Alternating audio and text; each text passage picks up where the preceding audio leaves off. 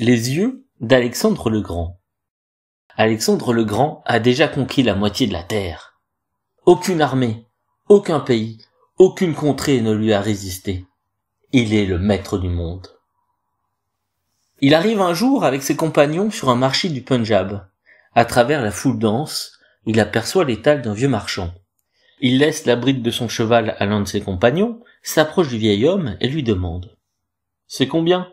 Devant le marchand, deux yeux humains sont exposés sur une table. Le vieil homme répond Il n'y a pas de prix.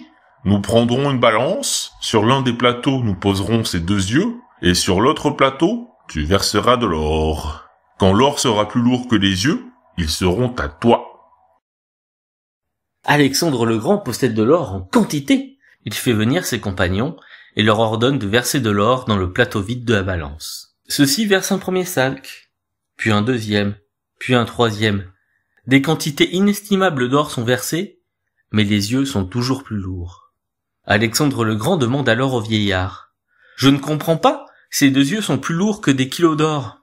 Il n'y a rien à comprendre. Ces deux yeux sont tes yeux, et tu es si avide de richesse et de conquête que tout l'or du monde ne suffira pas à les combler.